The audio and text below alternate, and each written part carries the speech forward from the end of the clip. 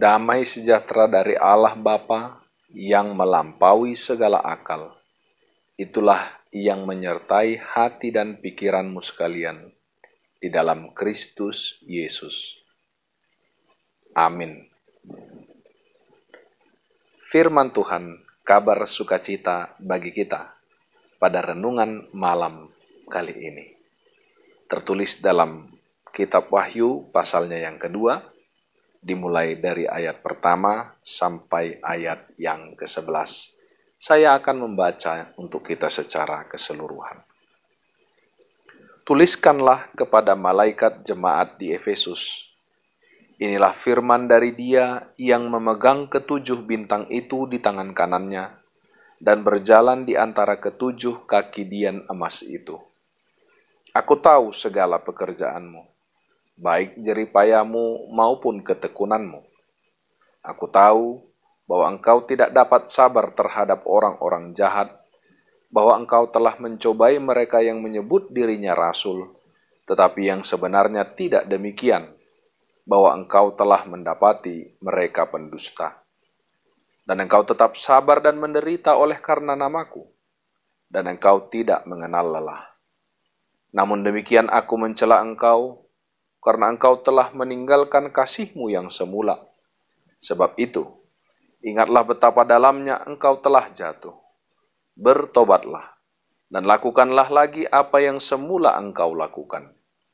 Jika tidak demikian, aku akan datang kepadamu dan aku akan mengambil kaki dianmu dari tempatnya, jikalau engkau tidak bertobat. Tetapi ini yang ada padamu, yaitu engkau membenci segala perbuatan pengikut-pengikut Nikolaus yang juga kubenci. Siapa bertelinga, hendaklah ia mendengarkan apa yang dikatakan roh kepada jemaat-jemaat. Barang siapa menang, dia akan kuberi makan dari pohon kehidupan yang ada di taman Firdaus Allah. Dan tuliskanlah kepada malaikat jemaat di Smyrna. Inilah firman dari yang awal dan yang akhir, yang telah mati dan hidup kembali.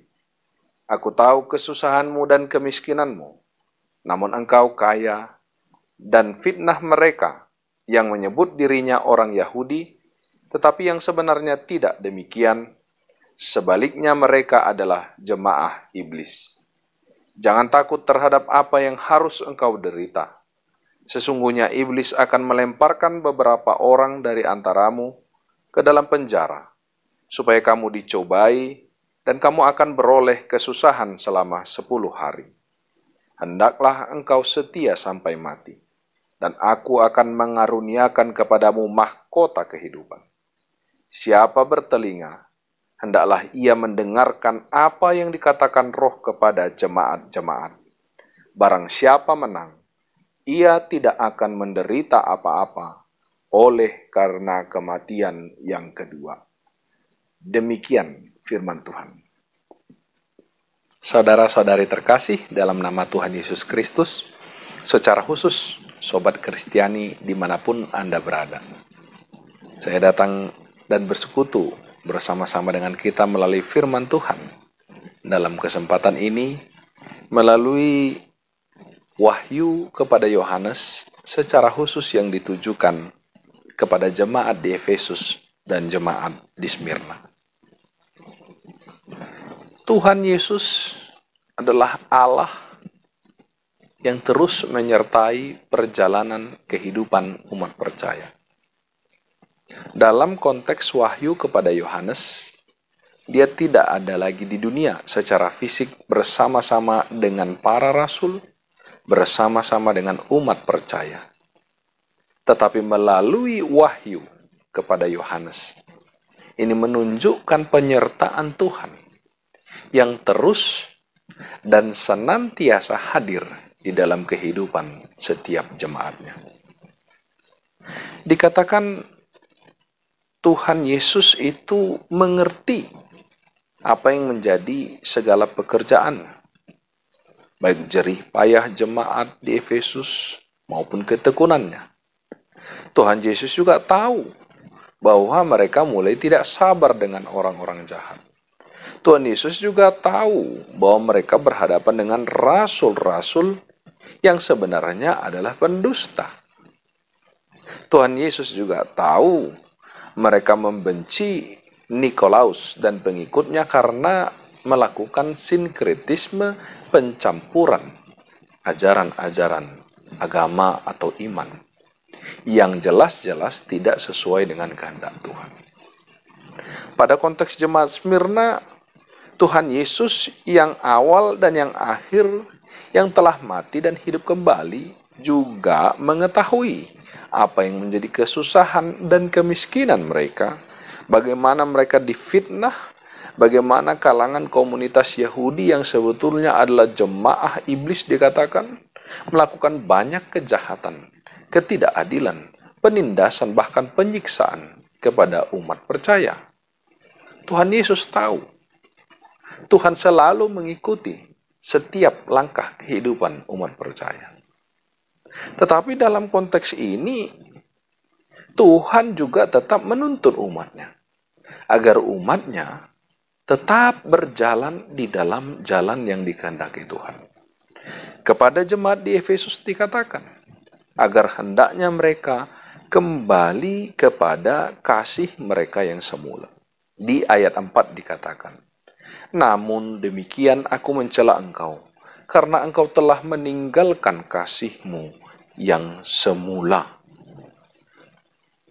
Walaupun berhadapan dengan orang jahat, walaupun berhadapan dengan rasul-rasul yang ternyata pendusta, walaupun berhadapan dengan pengikut Nikolaus yang membawa ajaran sesat, mereka boleh saja membenci dosanya, tetapi kasih yang semula adalah panggilan kepada umat percaya bukan menjadi musuh bagi pendosa, tetapi justru menjadi pengampun dan pendoa.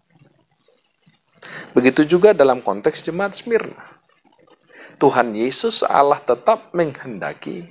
Dalam pergumulan, dalam kesusahan, bahkan mungkin ada beberapa dari antara mereka yang akan dilemparkan ke dalam penjara, mereka dituntut untuk tetap setia sampai mati. Bukan jadi berganti arah, bukan menjadi mengganti imannya, bukan menjadi meninggalkan Allah dan berbalik, tetapi mereka dituntun untuk setia bahkan sampai mati. Dan untuk kedua hal ini, kembali kepada kasih yang semula, menjadi pengampun dan pendoa bagi sesama yang berdosa, dan tetap setia sampai mati akan mendapat ganjaran di ayat yang ke-7 dan di ayat yang ke-11 bahwa mereka akan makan dari pohon kehidupan yang ada di taman Firdaus Allah dan mereka tidak akan apa-apa, tidak akan menderita apa-apa oleh kematian yang kedua. Saudara-saudari terkasih, dalam nama Tuhan Yesus Kristus, demikian jugalah pada saat ini dalam setiap konteks kehidupan kita mungkin kita juga menghadapi seperti yang dihadapi oleh saudara-saudari seiman kita di jemaat Efesus dan di jemaat Smyrna. Kita mungkin berhadapan dengan orang-orang jahat. Kita berhadapan dengan pengajar-pengajar sesat. Kita berhadapan dengan golongan-golongan yang membawa satu pengajaran-pengajaran yang tidak sesuai dengan kehendak Tuhan. Kita juga berhadapan dengan orang-orang yang menganiaya kita kita juga berhadapan dengan orang-orang yang menimbulkan kesusahan bagi kita. Kita juga mungkin berhadapan dengan orang-orang yang hendak mencobloskan bahkan mungkin beberapa dari orang Kristen, umat percaya, sudah dijebloskan ke dalam penjara oleh karena segala dinamika yang terjadi dalam kehidupan kita di dunia. Akan tetapi melalui firman ini, kita dituntun, kita dikuatkan, melalui Tuhan Yesus Kristus, agar kita tetap pada kasih yang semula itu, agar kita tetap menjadi pendamai, menjadi pengampun, menjadi pendoa bagi sesama kita yang berdosa. Dan di dalam setiap kesusahan dan di dalam setiap penderitaan, terutama karena iman kita, kita dipanggil dan dikuatkan untuk memiliki kesetiaan sampai mati. Oleh karena itu, marilah kita merengkuh kekuatan yang daripada Tuhan. dalam menjalani kehidupan kita ini. Kita mungkin memiliki banyak kekecewaan. Kita benci kepada orang-orang yang membenci umat Kristen. Tapi ingatlah, kita bukan dipanggil untuk mengalahkan kejahatan dengan kejahatan.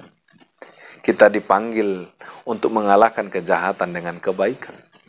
Kita dipanggil untuk menjadi garam dan terang dunia, bukan menjadi lawan peperangan bagi orang lain sesama kita manusia. Kita boleh membenci dosanya, tapi kita tidak boleh membenci pendosa, karena Tuhan Yesus juga melakukan hal yang demikian. Tuhan Yesus membenci dosa manusia, tapi Dia hendak menyelamatkan semua pendosa agar kembali ke jalan yang Ia kehendaki. Begitu juga dalam kesetiaan iman dalam setiap guncangan kehidupan, dalam setiap tantangan, bahkan mungkin kesusahan karena iman percaya kita kepada Tuhan di dalam Yesus Kristus, kita dipanggil untuk tetap setia. Karena janji keselamatan yang kekal itu sudah dipersiapkan bagi kita. Buah dari pohon kehidupan yang ada di Taman Firdaus Allah itu adalah ganjaran dari kasih kesetiaan kita dan kita tidak lagi akan menderita apa-apa dari apa yang dinamakan dengan kematian yang kedua. Karena kita akan mendapatkan kehidupan kekal bersama-sama dengan Allah Bapa di sorga. Shalom, Tuhan memberkati.